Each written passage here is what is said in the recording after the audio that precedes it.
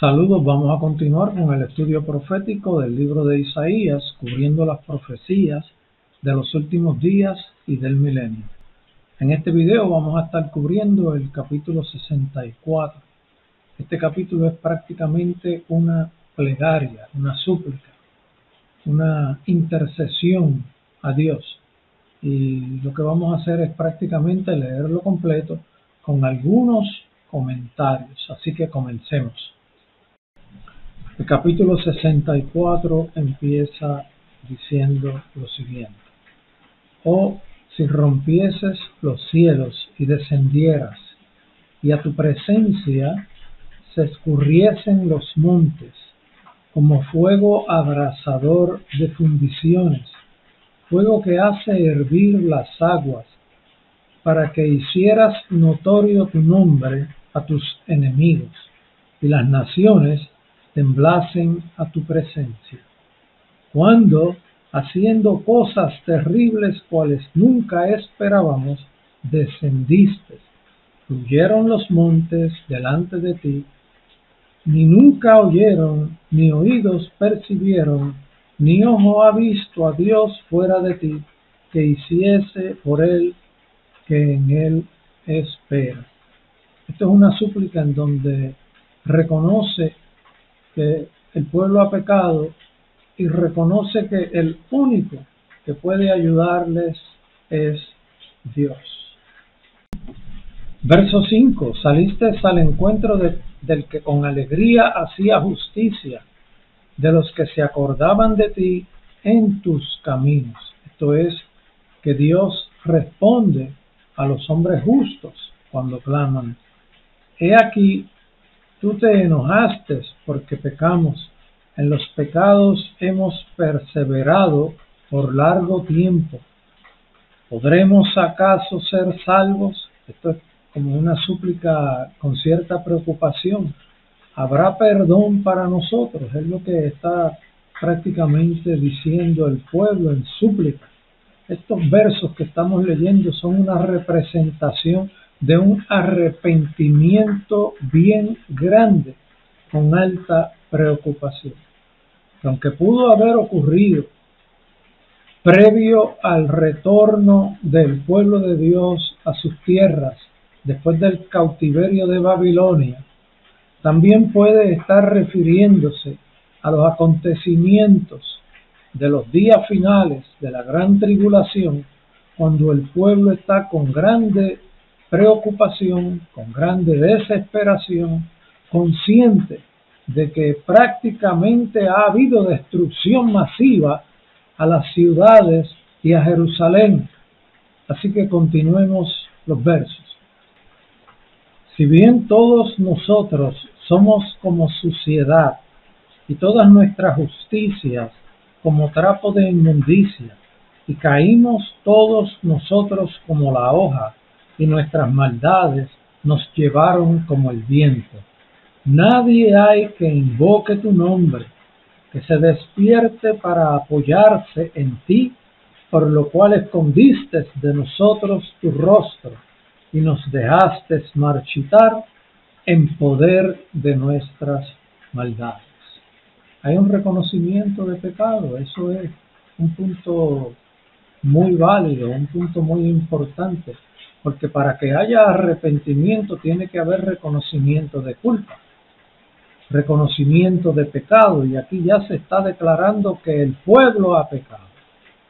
Y en el momento en que se refiere esta descripción, como dijimos, puede tener una representación dual, y de por cierto, es un evento también que va a ocurrir al final de la gran tribulación, como ocurrió en los días en que estaban en el cautiverio de Babilonia, podemos decir que esta es la representación de un pueblo clamando por perdón. Y como en los capítulos anteriores se ha concentrado tanto el mensaje de los días finales, de la gran tribulación y la representación de que Jesucristo salvará a su pueblo, podemos decir que es más probable que estos versos se refieran al final de la gran tribulación porque machean perfectamente con lo que se describen en ellos. No podemos decir que solamente se refieren a los momentos del cautiverio en Babilonia y no a los de la gran tribulación. No podemos decir eso por cómo se expresan estos versos. Sí podemos decir que se pudieran expresar a los días del cautiverio en Babilonia y a los días de los problemas de la grande persecución en la gran tribulación. Pero luce con mayor probabilidad, por como ha estado expresándose los capítulos anteriores, que todo esto se refiere al momento del clamor cuando el pueblo está rodeado de todos los ejércitos de toda la tierra con la intención de destruirlos. Porque sí podemos decir que esta es una súplica en grande temor, en grande agonía, con grande súplica, con intención de recibir respuesta inmediata por cuanto está difícil la cosa. Ya en aquellos momentos, en Babilonia, ya se estaban adaptando al nuevo sistema, pero Dios estaba bregando con ellos. Aquí vemos un pueblo clamando intensamente por ayuda. Y luce ser, yo no voy a decir qué es, pero sí voy a decir que luce ser que son al final de la gran tribulación, cuando Dios les contesta y envía a Jesucristo en su segunda venida a rescatarlos y desciende fuego del cielo y consume todos los ejércitos de la tierra. Y si pensamos que es una oración en el Espíritu, guiada por Dios, al principio empezó hablando de fuego. Y hemos visto también que en el verso 5 al final se preguntan, ¿podremos acaso ser salvos? Allá en Babilonia sabían que iban a estar 70 años. Dios lo había dicho. Daniel lo había dicho. Y Daniel estaba allí. Y esa voz se estuvo mencionando en aquellos días. Esto luce que es al final de la gran tribulación. Continuemos con el estudio. El verso 8 dice, ahora pues, Jehová, tú eres nuestro Padre, nosotros barro, y tú el que nos formaste. Así que obra de tus manos somos todos nosotros. No te enojes sobremanera, Jehová, ni tengas perpetua memoria de la iniquidad. He aquí, mira ahora, pueblo tuyo somos todos nosotros. Tus santas ciudades están desiertas. Sión es un desierto Jerusalén una soledad. Esto ocurrió, esta descripción que tenemos en estos versos ocurrió cuando Babilonia también. Pero ocurrirá también en la gran tribulación. Esta descripción de tus santas ciudades están desiertas. Sión es un desierto, Jerusalén una soledad.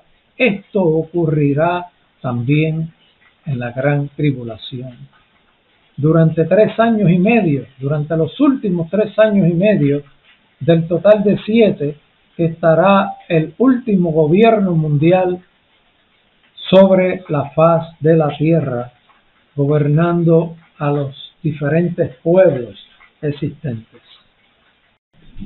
Miren esto, la casa de nuestro santuario y de nuestra gloria, en la cual te alabaron nuestros padres, fue consumida al fuego, y todas nuestras cosas preciosas han sido destruidas.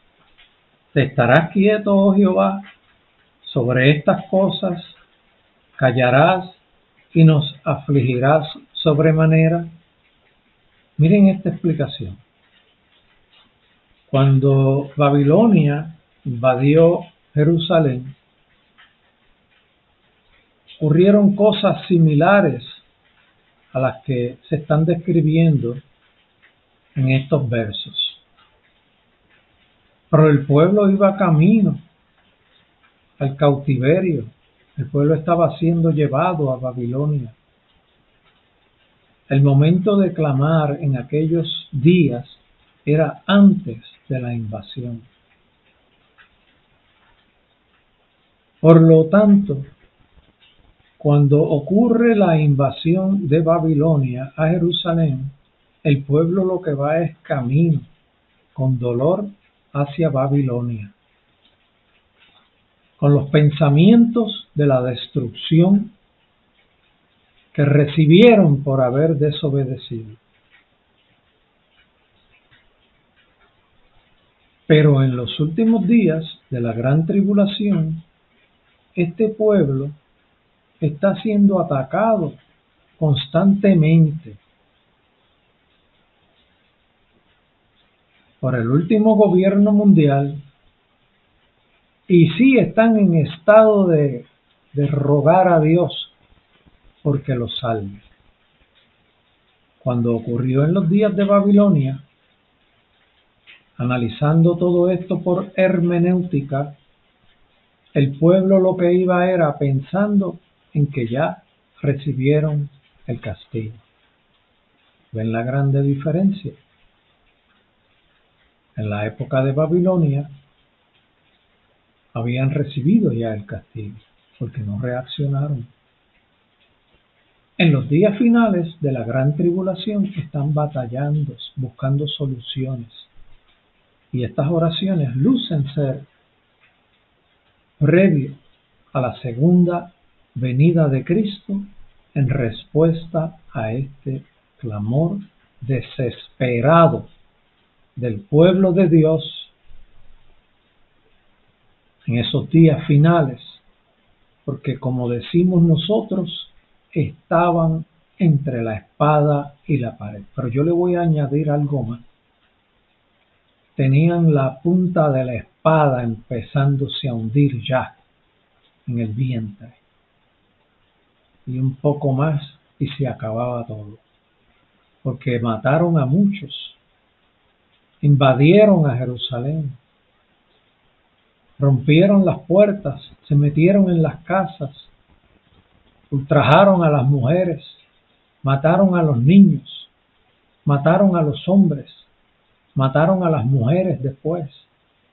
Iba grande destrucción masiva, tanto que la mitad del pueblo de Israel en ese ataque tuvo que huir y salir de la ciudad. Y en ese proceso Dios iba bregando con ese pueblo. Y, ese, y en ese momento, por hermenéutica, estamos en un momento de que todavía podemos orar para recibir respuesta. En los días de Babilonia cuando ocurrió lo que ocurrió, ya recibieron su paga, su juicio. Aquí están clamando por una respuesta.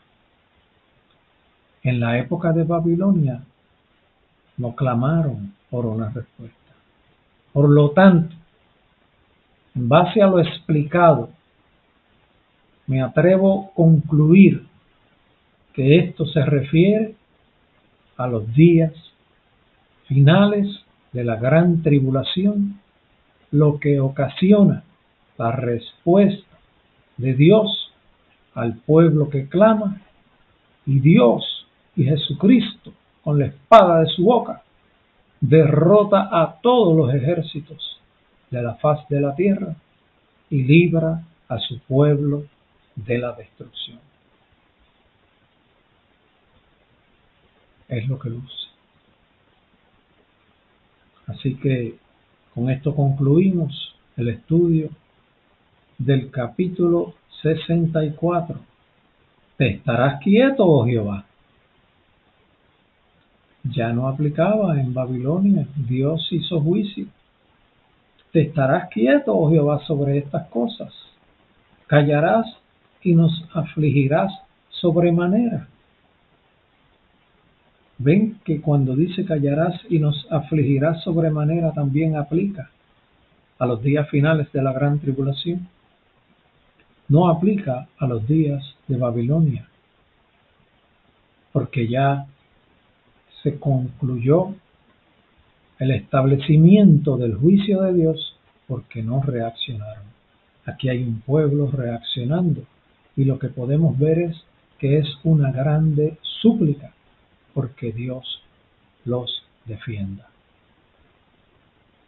Y cuando analizamos también el contexto de todos los demás capítulos adyacentes y versos relacionados, la concentración del mensaje en estos versos también del capítulo 64 describen la alta probabilidad, y yo creo que sí es, que es el clamor del pueblo de Dios en los momentos finales de la gran tribulación, cuando desciende Jesucristo por segunda vez y los libra de la destrucción masiva.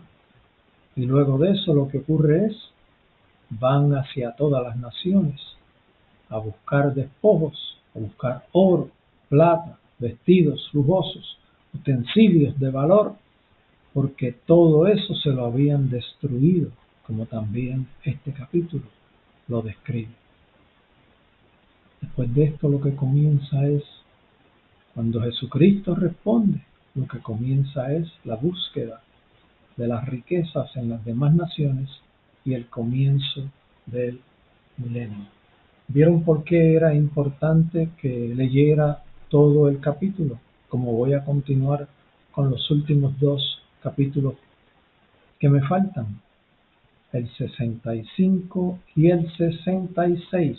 Les recomiendo que hagan el estudio completo de este estudio porque va a transformar sus vidas y puede ocasionar, si todo el pueblo de Dios se mete a estudiar este estudio de Isaías, de las profecías de los últimos días y del milenio, esto, esto, esto, esto va a ocasionar una revolución espiritual en el pueblo de Dios porque va a transformar los corazones de los cristianos y van a salir muchos de ellos de la religión, de la costumbre, de la tradición, que aunque se creen que hay otros que son los que tienen la tradición, también hay muchos cristianos que están envueltos en la religión, en la costumbre